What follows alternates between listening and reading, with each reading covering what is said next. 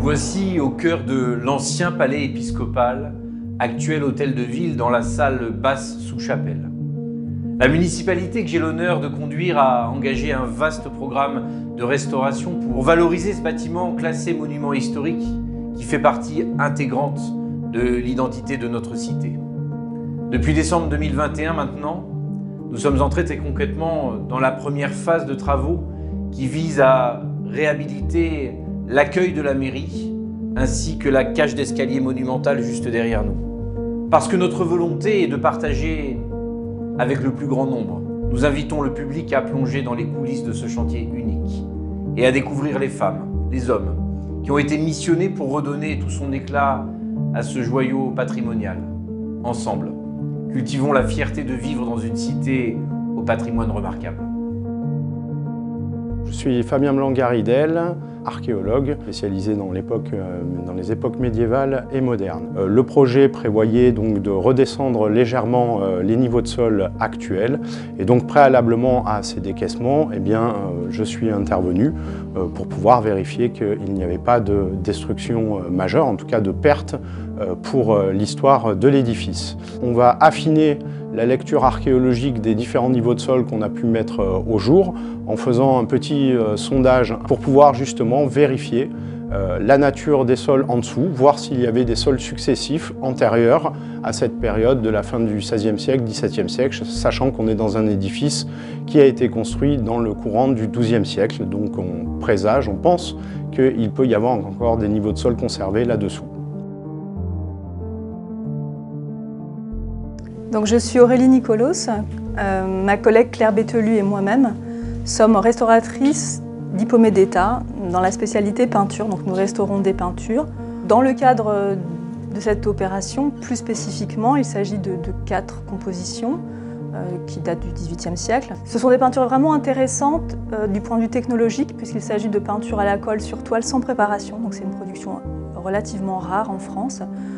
Qui la rattache à un encore plus, ancien en fait, c'est première peinture sur toile.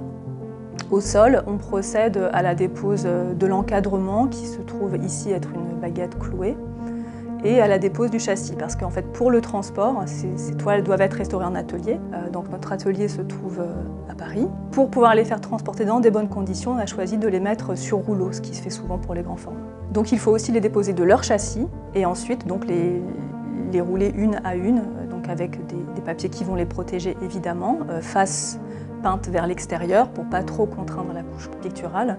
Ensuite, en atelier, ces œuvres seront restaurées à proprement parler. Donc ça veut dire euh, déjà des interventions sur le support toile parce qu'on s'est aperçu. Alors c'est intéressant parce qu'on a une, toile de support qui est une toile à chevron, donc un peu comme nos toiles à matelas actuelles. Mais euh, ces toiles en fait souvent ne euh, sont pas constituées d'un seul lait. Donc on a un, assemblage de plusieurs morceaux. On a vu que les coutures étaient parfois euh, défaites, donc il va falloir reprendre ces coutures. On a vu qu'il y avait aussi des déchirures, euh, des trous qui avaient été plus ou moins restaurés euh, lors d'interventions précédentes, mais qu'on va sans doute devoir reprendre. Et une fois que le support sera, toile sera bien restauré, on pourra passer à la couche picturale et qu'il faudra nettoyer. C'est le poste principal. Donc on espère retrouver bah, toute la vivacité de la palette grâce à ce nettoyage. Cécile Barrault, responsable de l'atelier de restauration euh, SMBR. Nous intervenons en fait en tant que LO4 euh, restauration des décors peints. Et euh, notre mission dans un premier temps en amont de notre intervention, c'est de, réaliser en fait des examens préliminaires sur les, décors, s'il y a des décors, les, couches picturales et les peintures. On peut découvrir une stratigraphie sur, sur cette partie de l'élévation. On a donc dégagé chaque couche picturale avec euh, ma collègue pour, euh, pour voir un petit peu comment euh, les couches de l'épiderme s'articulaient. Lorsque nous ne savons pas déterminer à l'œil les couches sur lesquelles nous sommes ou qu'on a un doute, on peut très bien prélever un petit fragment ou une couche pelliculaire et on l'envoie en fait avec notre laboratoire d'analyse avec qui on travaille pour nous expliquer exactement la composition de, de notre couche picturale ou de notre enduit pour pouvoir reproduire les mêmes mélanges qui avaient été faits à l'époque, que ce soit pour nos maçons du patrimoine ou pour les restaurateurs pour la couche picturale. Mathilde Colson pour l'entreprise SMBR, euh, spécialisée en restauration de décors peints dans les monuments historiques. Nous avons été euh, mandatés donc, sur les travaux de cet escalier monumental euh, pour la restauration du, décor peint, notamment le plafond, qui est un bacula qui est fait, formé par des lattilles, des petites planchettes en bois, et euh, donc avec le temps, euh, le, tanin contenu dans le bois a migré euh, dans la couche picturale. Donc on a, on, a, on a, réussi à trouver un procédé pour bloquer la migration de ces taches jaunes et on a fait un repiquage des couleurs, donc les divers tons de gris qui sont, qui sont en fait une peinture à la chaux et au pigment naturel. Donc là on en est à terminer ces ses recherches euh, de teintes, voir si euh, ça ne bouge plus et si euh, les couleurs sont bien stables au séchage. On essaye de conserver au maximum les décors existants.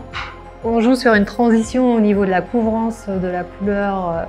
Quand on approche du décor, on passe sur quelque chose de plus, transparent, plus léger, pour arriver à, faire que l'œil ne, repère plus du tout euh, les retouches qui ont pu être exécutées sur ce plafond.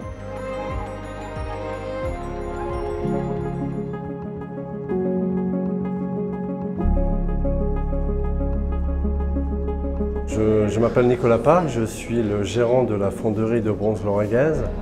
Si je suis là aujourd'hui, c'est pour vous parler du lustre que nous avons fabriqué et que nous avons installé ici à, l'hôtel de ville de, de Grasse, et notamment le, palais épiscopal.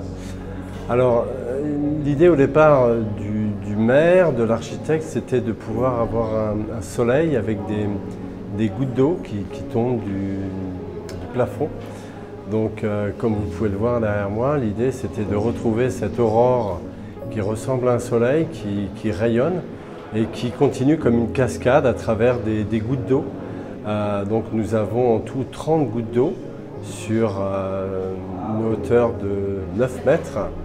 Et euh, l'idée était de pouvoir éclairer cet escalier monumental, tout en ayant une douceur à chaque étage qui soit, qui soit constante. Et puis l'intérêt aussi, c'est qu'au niveau de la couronne supérieure, on puisse éclairer les toiles qui sont sur la partie supérieure de l'escalier. Et l'idée, c'était vraiment de retrouver cette douceur tout au long de, l'escalier.